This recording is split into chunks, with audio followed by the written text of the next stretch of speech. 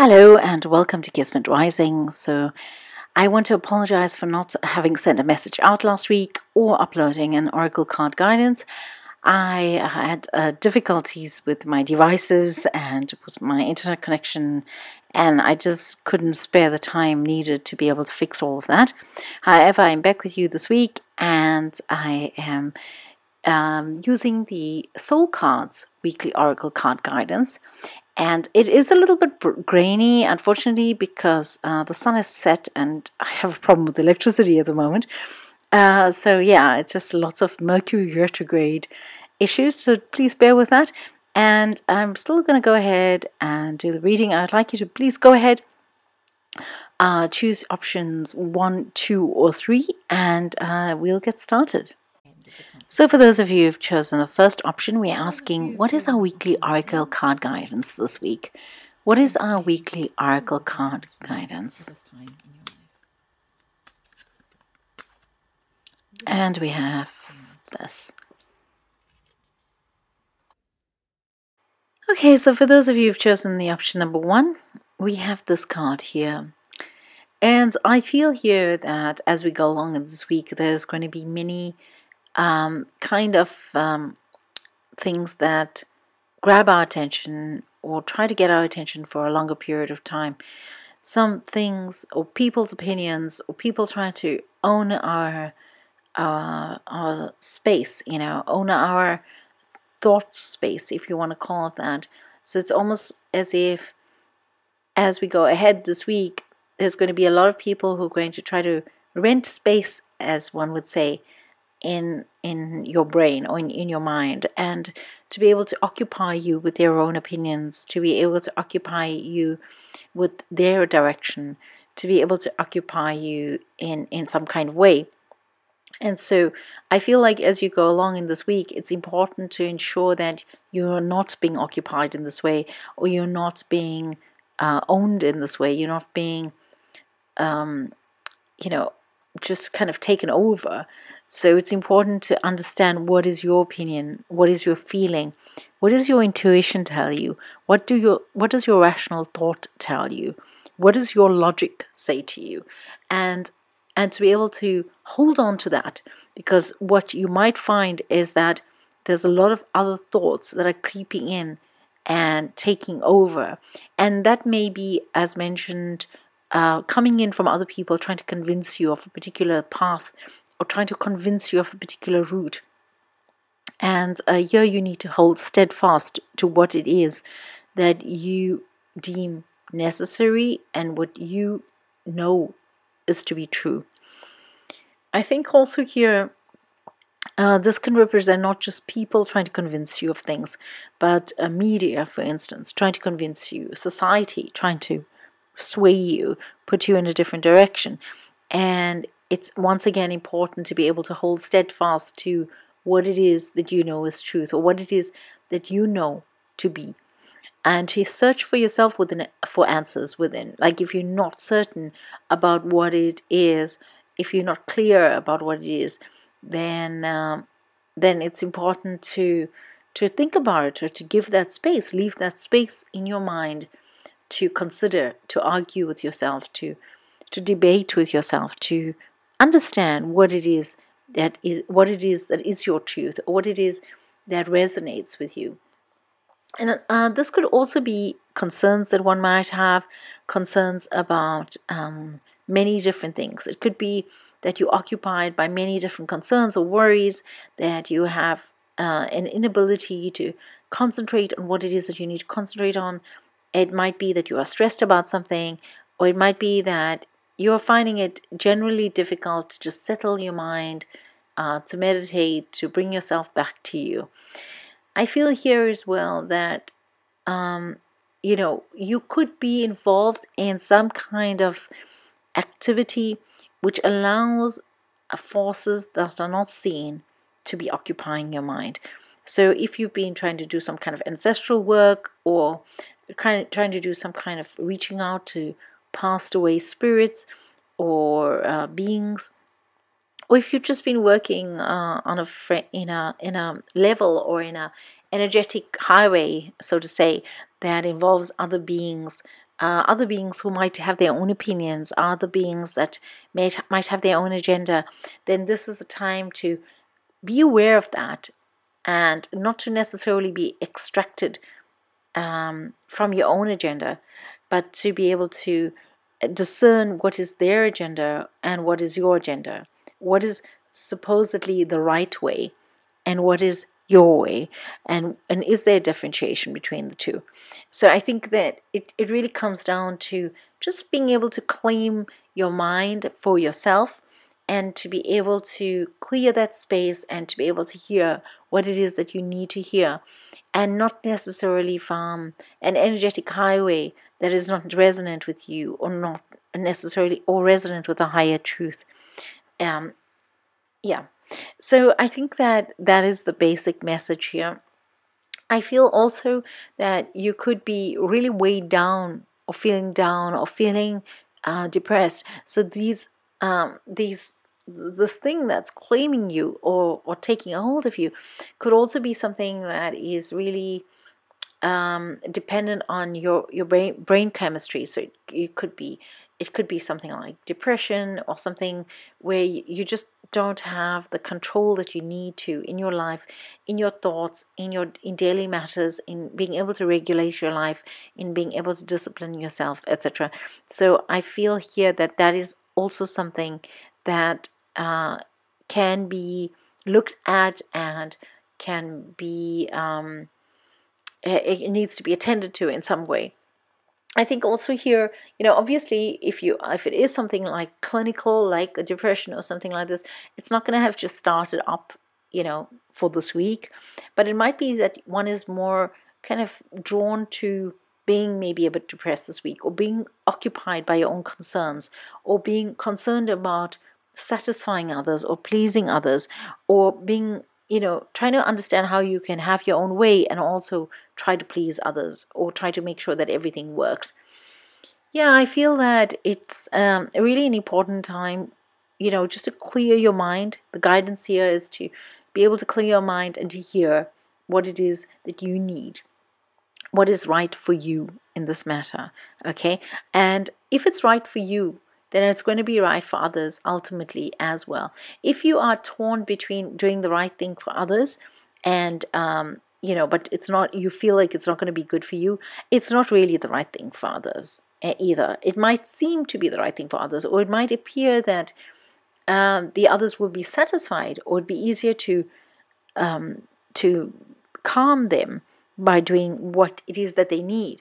But it's not necessarily uh, good for you. And in this case, it's ultimately the long term, in the long term, it won't be good for them. And so just think about what it is that is good for you and how is it that you can bring peace to yourself at this stage. Uh, and that is the the the advice that uh, that I will I'd like to give you here for this week. I wish you a very good week ahead um, as you go along, and um, please stay safe and healthy and well and free, and um, be blessed. Much love to you all. And so, for those of you who've chosen the option number two, we're asking, what is the weekly oracle guidance this week? What is your weekly oracle guidance? What is it that I've come here to hear? What is going to help me as I go along in the next week?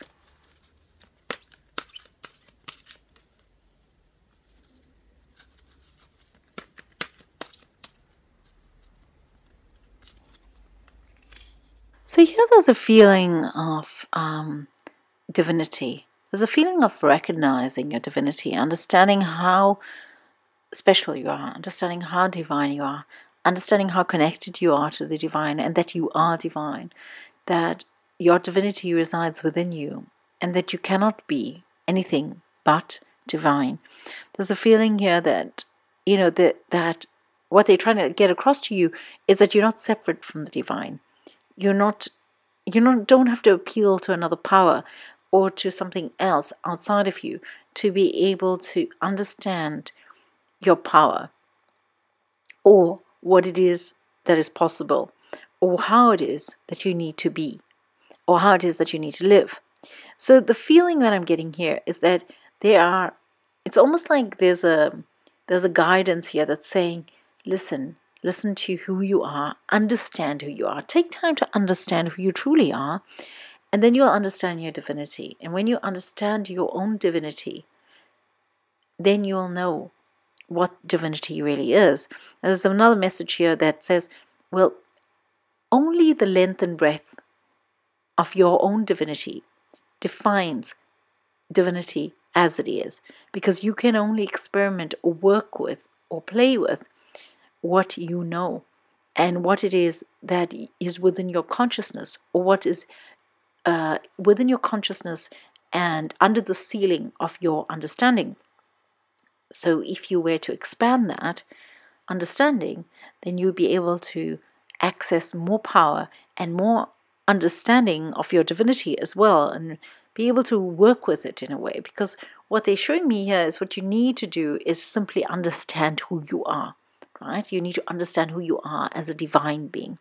And once you've done that, then you've understood your power. And once you've understood your power, then you understand that you can work in a way that is much faster and much easier, and that there's nothing really stopping you um, from your goals or from what it is that you're hoping to achieve or what it is that you desire, because you are one with your manifestation and you are one with your divinity. So, the other thing I'm hearing here is that you are the sum of your own uh, definition of yourself. So you're the sum of your your definition of yourself. You're the one who's stopping yourself from actually getting further. All the blockages, all the obstacles that lie before you are those that are created from you, from your own fear, from your own lack of trust, from your own inability to surrender to yourself and your own divinity. Okay? And so this light that is within this being here in this in this um, in this photo in the of this um, in the video in the card is what I mean is basically she's she's radiating this light okay and this light is occupying her and in that way they're saying well this light needs to occupy you it needs to take care it needs to take over you it needs to be all of you your divinity needs to be all of you not just at your altar not just in your mind not just under your breath but all of you. You need to be walking your divinity, eating your divinity, breathing your divinity. This is all that you need to be. And they are saying, well, it doesn't require ritual or or prayer necessarily, but what it requires is simply being, being your divine self, because that is the only self that you are. And when you recognize that, that's when you can move ahead.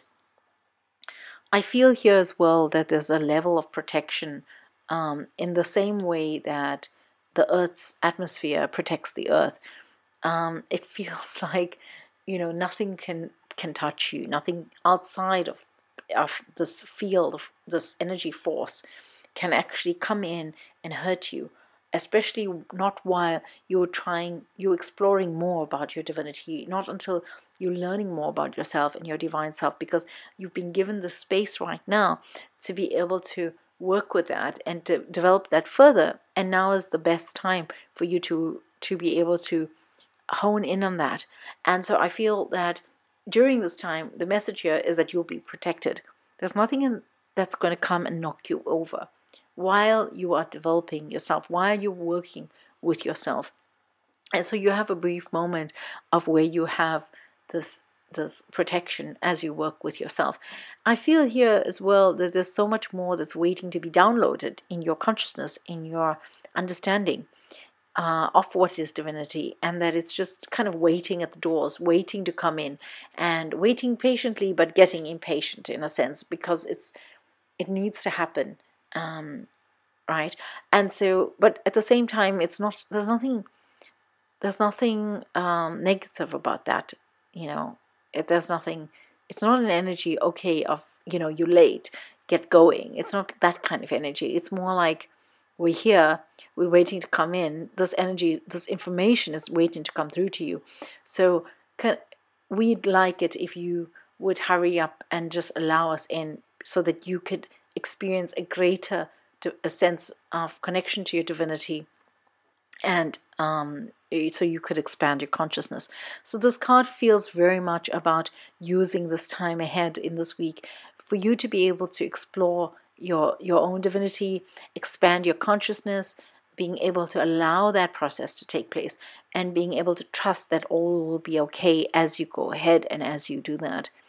And and also to understand that the way in which um, well the message I'm getting here is that the new age stuff, the esoteric stuff, is a distraction. It's a distraction from getting to where you need to be with, with yourself. You don't need anything. You don't need any divine tools. You don't need any cards. You don't need any form of help from outside of you to be able to recognize your divinity. And so this is something that it requires inward work. And there's a sense here that people are afraid to go inward. They're afraid to sit with themselves for a moment, but they've also been coerced not to do that. So the energy or, or the way in which we've been conditioned is to look outside of ourselves for information, for wealth, for um, well-being, for for um, allowance to be okay, and it's somehow what I'm what I'm seeing here, what I'm hearing here is that you need to to simply go inward. And once you begin that inward journey it's infinite and there's no stopping you. And there's none of the restrictions that you encounter on the outside of you. So simply go inward and start exploring because you have all of that. All right so that's the message for you for this week. It's quite an interesting message actually. Um, it's quite different from some of the other messages that I've been delivering recently. Uh, so I wish you well, and uh, yeah, I wish that I hope that you have a nice time exploring your divinity, as this card suggests that you do. I wish you um, a blessed week ahead, and please stay safe and stay happy. All right, lots of love to you all. So, for those of you who've uh, chosen the third option here, we're asking, what is your weekly oracle card guidance? What is it that I need to hear right now? for this week, what is the advice that I need right now to be able to go ahead? And we have this. So, the sense I get with this option is that you've been through some difficulty. Uh, it could be in a way that you might have been mourning something or grieving something or just having some kind of issue where you weren't as pleased with the situation as you wanted to be. And what's come of that is that you have a particular idea of how the world is as a result of that. So it's shaped you, it's defined you, it's it's kind of altered you actually. It doesn't define you completely, but it alters you. And the problem with this is that it seems to have taken away some of your blessings, some of your abundance, some of your well being. It's taken away some of your joy. It's taken away some of the possibilities that exist for you and how you can go ahead with it. So it's saying, at this card is telling me that well, one of the things that it's saying is that if you clear in this week, if you clear away some of the belief systems that you have, if you examine some of the belief systems that you had and see where it's come from and see how you've come to that way, how you've come to that space in your life, and you identify that and you are able to work through that and discard anything that's not useful for you any longer, then you're going to be able to feel much lighter and find that things come your way much easier than they've done before. And sometimes it's difficult to do that because you know you've lived with something. It com- becomes your kind of defense mechanism. It becomes your way of being, and it works for you. You know, and so it's difficult to actually let go of those things. And even more difficult is to be able to identify that. Like, how do you go about identifying that? And, and what I found is that there are particular periods in one's life when one is more aligned towards being able to identify those things or to be able to work towards those things.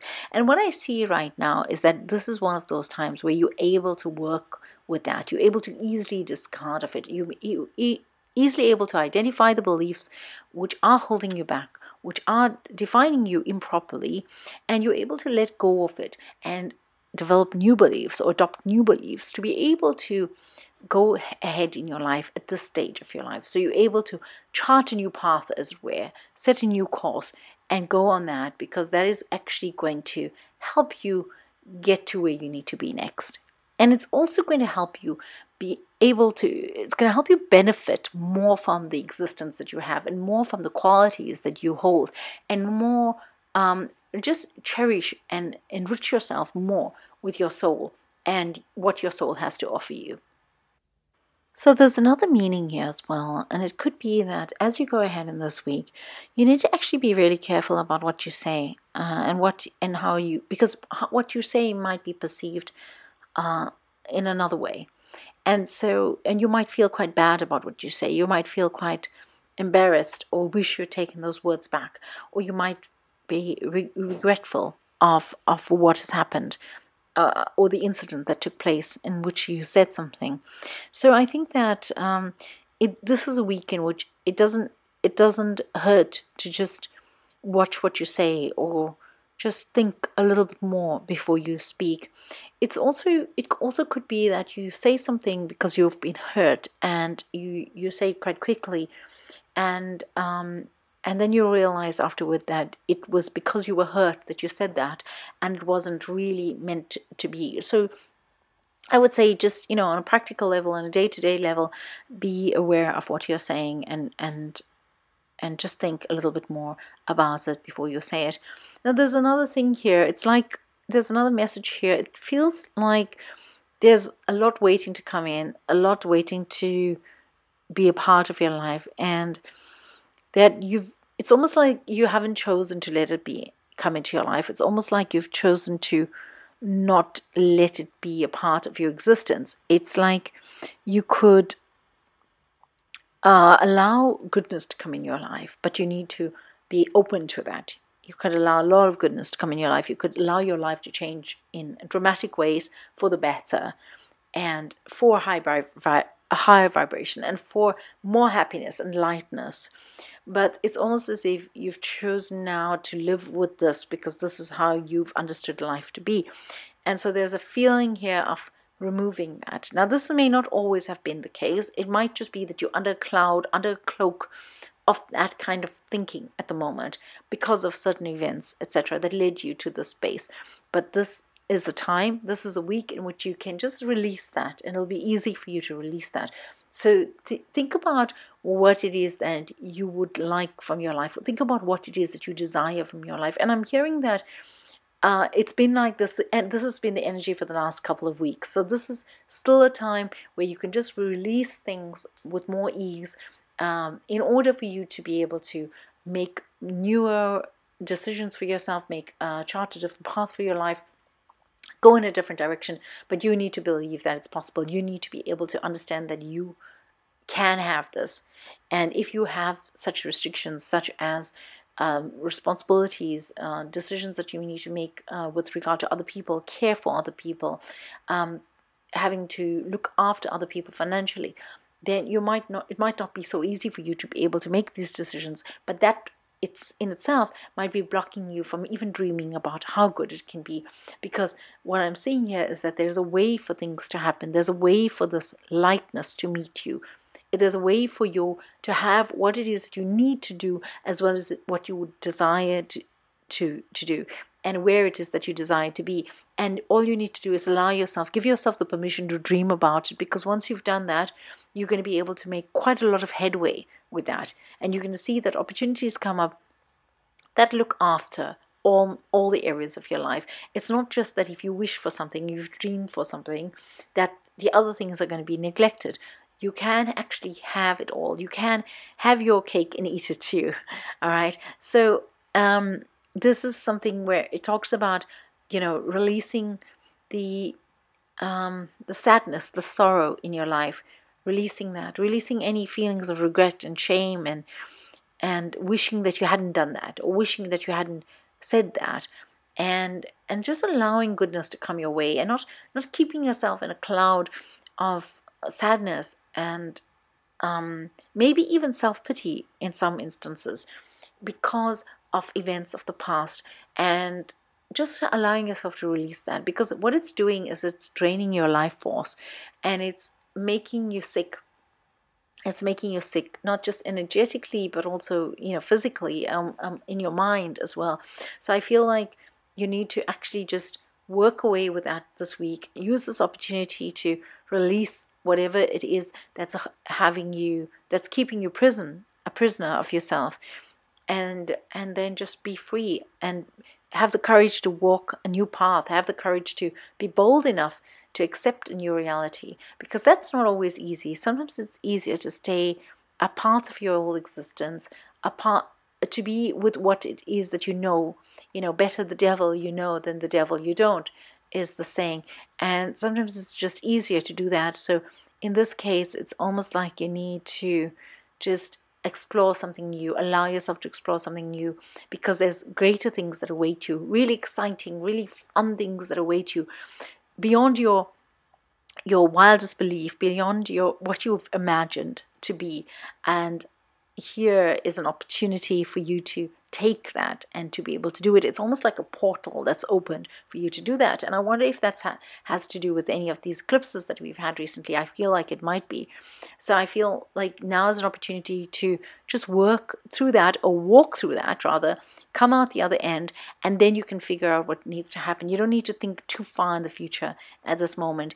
It is okay to just go through this uh, with your eyes closed and allow yourself to go through it because I feel like it's the fear that keeps you trapped at this moment. All right. And uh, I think that's your message for this week. I'm going to leave with you with that. Good luck as you go along in this week. And I hope that you are able to stay safe and healthy. And blessings abound from Kismet Rising.